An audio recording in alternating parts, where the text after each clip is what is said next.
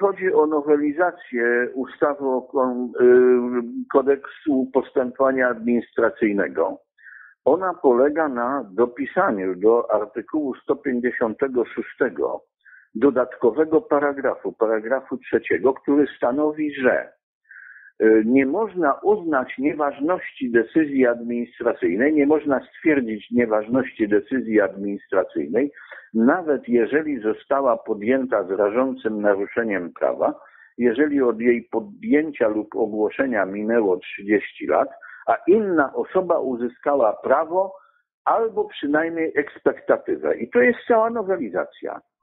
Ta nowelizacja blokuje możliwość dochodzenia roszczeń przez Polaków, których własność została znacjonalizowana w okresie PRL, a następnie w drugiej połowie lat 80., na której się uwłaszczyła komunistyczna nomenklatura.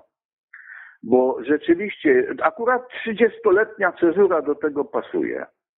I ta, ta nowelizacja zatem taki cel ma, ma na celu ochronę interesów komunistycznej nomenklatury, żeby już nikt nie mógł podważyć nawet decyzji podjętych z rażącym naruszeniem prawa, na podstawie których oni się pouwłaszczali. Natomiast absolutnie nie zabezpiecza Polski przed y, roszczeniami żydowskimi, które się odnoszą do własności bezdziedzicznej tak zwanej. A własność bezdziedziczna przeszła na własność Skarbu Państwa na podstawie przepisów wprowadzających dekret z 8 października 1946 roku prawo spadkowe. Ten dekret został uchylony wprawdzie w 1965 roku przez kodeks cywilny, ale skutki tamtych postanowień są, mają charakter trwały.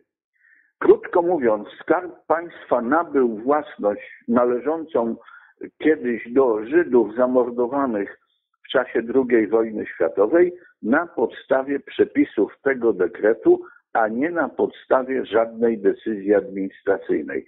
I dlatego nowelizacja kodeksu postępowania administracyjnego w takim brzmieniu, y, w jakim tu, jakie tu zacytowałem, przed niczym Polski absolutnie nie chroni.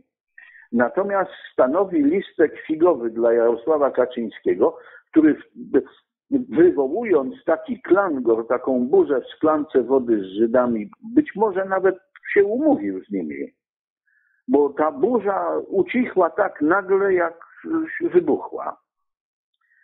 Potrzebny mu był listek figowy, żeby opinia publiczna w Polsce uwierzyła, że on własną piersią chroni Polskę przed roszczeniami żydowskimi, podczas kiedy tak naprawdę chroni uwłaszczoną nomenklaturę przed wszelkimi roszczeniami ze strony Polaków. Czyli panie redaktorze, to jest taka wielka manipulacja, bo wprowadzacie ustawę przeciwko polskim ziemianom. Mówi się, że to jest przeciwko roszczeniom żydowskim. Każdy, kto się tam wstrzymuje, bo nie wie do końca, co to jest, to się go z góry nazywa, że już nie jest y, patriotą, bo, bo nie chce jakiejś ustawy, która by była przeciwko roszczeniom zagrażającym y, Polsce. Więc kilka celów politycznych jest tu spełnionych. Tak, ale to wie pani, kłamstwo ma krótkie nogi.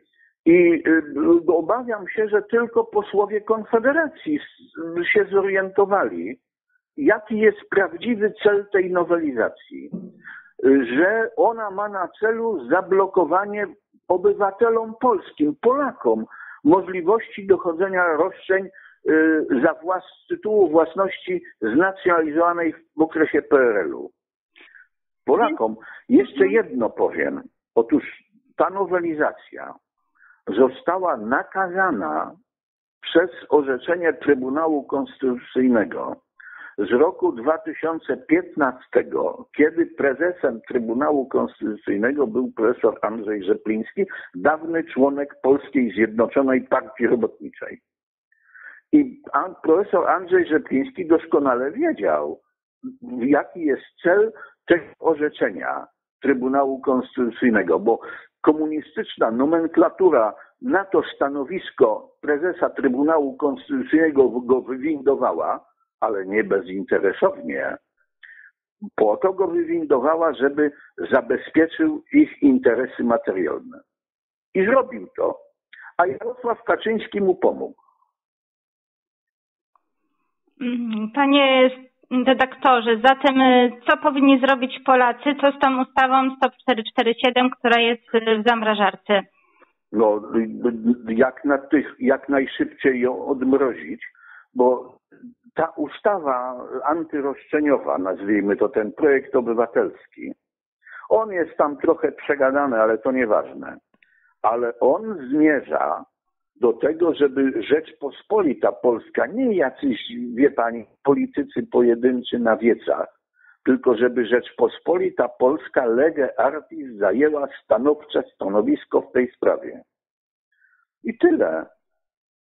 Bardzo serdecznie, panie redaktorze, panu dziękuję, bo tutaj jest pan jednym z nielicznych, który mówi, jak jest w tej sprawie.